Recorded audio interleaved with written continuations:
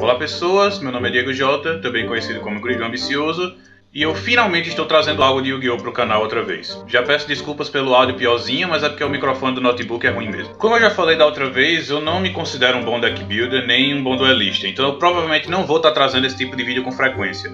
Mas de vez em quando não faz mal. Esse deck aqui é a minha tentativa de juntar Yugi, Jonochi e Kaiba em um deck só, e fazer com que ele rode. Por conta disso, né, eu chamo ele de DM3, porque é um deck que junta os três protagonistas do Duel Monsters. Então vamos lá. Dark Magician e Eyes funcionam muito bem juntos, porque os dois são monstros de nível 7 que entram em campo com uma certa facilidade. Então você pode fazer os Xyz deles no instante. Agora tem essa ruma de monstro normal de nível alto aqui. 3 Dark Magician, 3 Red Eyes e um Summoner Skull. Pode parecer muito, mas é necessário, porque não só os recursos se acabam no instante com esse deck, como na verdade nem cloga tanto quanto parece. Com esses dois na mão, você pode fundir os dois para invocar o First of the Dragons ou o Amulet Dragon.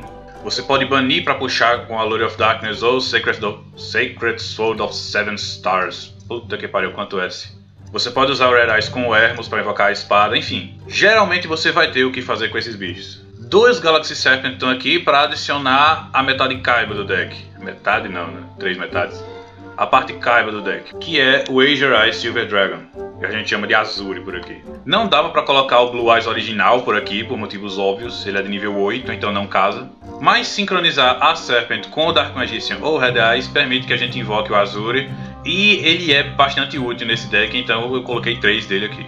E além disso, Galaxy Serpent é o regulador perfeito para esse deck. Porque se você não quiser ou não puder fazer sincro, ele é um dragão, então você pode fazer o Amulet Dragon e a Espada dos Olhos Vermelhos com os dragões lendários. É um monstro normal, então você pode ressuscitar com Return of Red Eyes, com o próprio Azure, e ainda pode fundir para invocar o First of the Dragons. E você ainda pode usar o Carboneiro para invocar ele do deck, caso você não esteja precisando de um Red Eye no momento. É perfeito. 3 do Dragão Fuzileiro e essa pode ser a escolha mais esquisita do deck. Originalmente eu usava o Gagaga Magician como o abre aspas, nível 7 e fecha aspas, que pode ser invocado normalmente. Mas aí eu percebi que se eu quisesse usar Sacred, of the, Sacred Sword of Seven Stars, puta que pariu, pra puxar com ele, eu teria que gastar no Sum. Aí eu usei o Gaia Galopante no lugar, o que dava também mais um toque de Yugi pro deck, mas aí o problema é que não dá pra usar o Gaia com a Lure of Darkness. E o Gaia Despertado, que é de Trevas, tem restrições para você invocar ele sem tributo. Então eu resolvi colocar o Dragão Fuzileiro porque é nível 7, é de Trevas, pode ser invocado sem sacrifício, então, pra mim, casou direitinho. Esses bichos aqui, eu pretendia usar três Armageddon Knight, mas aí eu percebi que a porcaria do Carbonedo é de terra e não de trevas. Então eu resolvi usar dois Elemental Hero Prisma e dois Matemáticos. O Matemático manda os bichos pequenos pro deck e o Elemental Hero Prisma manda os grandes. E você ainda pode usar o Prisma para fazer as fusões. Geralmente você vai fazer ou o Paladino ou o Amuleto Dragon com o Olho de Timaios. Mas também dá para fazer as fusões de Red Eyes com ele. Quer dizer, a fusão, né? O Black Skull Dragon, que o Black Demons no novo, né? Não dá pra usar ele porque ele não é um monstro normal. Dois Carbonedon para invocar o Red Eyes ou o Galaxy Serpent, se você precisar.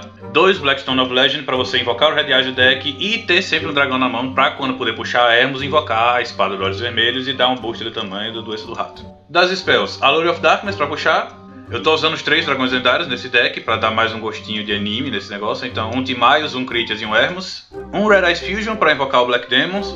Você quase sempre vai estar invocando um novo, mas o antigo está aí também para poder usar o efeito do prisma nele. Duas Poly que você geralmente vai usar para invocar o First of the Dragons, mas também dá para invocar o Black Demons ou o Amulet Dragon se você precisar. Duas Sacred Sword para puxar, eu não vou mais dizer o nome completo dessa carta de jeito nenhum. Duas dela para puxar, dois Tufão para tirar back row, e acaba as spells. Traps, eu uso 3 Mirror Force, por quê? Porque eu tenho o Critias aqui. Não dá pra buscar Mirror Force nesse deck, não dá pra buscar o Critias, então eu coloquei 3 dela pra poder ter uma chance maior de invocar o Mirror Force Dragon. E a Mirror é uma carta boa, pode não ser lá tão útil no meta atual, mas esse baralho aqui não é meta, então enfim. Escape from the Dark Dimension. Com Bottless Dimensional Prism e Trishula e tal, mais a Lure of Darkness e a Sacred Sword, você geralmente vai ter algo banido para usar isso daqui. Uma só porque não é 100% garantido que você use e porque puxar isso daqui quando você estiver já numa situação apertada geralmente faz mal. Uma Return of Red Eyes eu usaria mais, mas uma funcionou bem pra mim, é uma Call of the Hunter que revive um Vanilla todo turno desde que você tenha Red Eyes. E quando morre, traz outro Red Eyes do cemitério, muito boa. Duas Eternal Souls, para invocar e proteger o Dark Magician. Só cuidado com Galaxy Cyclone quando for usar essa porcaria aqui, porque Quando ela morre, ela explode todos os teus monstros. E duas Call of the Hunter porque é uma versão mais genérica dessas aqui, com menos drawbacks. No deck adicional, as duas fusões de Red Eyes que eu já falei. O Black Demons novo é uma powerhouse do caralho, dá um dano dos infernos muito fácil. First of the Dragons é um bicho mais para segurar o jogo, porque o oponente não pode usar efeito de monstro contra ele. As fusões de Dark Magician que você faz com Timaios, você pode invocar o Amulet Dragon com a Polymerization, mas geralmente é melhor usar o Timaios. As fusões de Crit e Hermos, que eu uso uma de cada, um Mirrorforce Dragon e uma espada de olhos vermelhos. Essa espada é forte demais, bicho. Você equipar isso num paladino chega a ser covardia. Três Azuri, que eu já comentei, dois de cada Exis do Red Eyes e do Dark Magician, e um Big Eye aqui para completar os Exis do deck. Esse deck não foi feito para ser competitivo, ele foi feito para ser funcional, e ele funciona. É muito divertido de jogar, e se você quiser deixar ele melhor, é perfeitamente possível. Só tirar o Critias e diminuir o número de Mirror Force aqui já libera espaço no main e no extra, então... Mas enfim, eu espero que você tenha gostado desse vídeo, espero que você tenha gostado também do outro vídeo que foi lançado com esse aqui, mostrando esse deck em ação. Eu não sei quando eu vou postar vídeos assim de novo, mas fiquem no aguardo. Então, esse foi o vídeo. Muito obrigado por terem assistido e... Done Endo.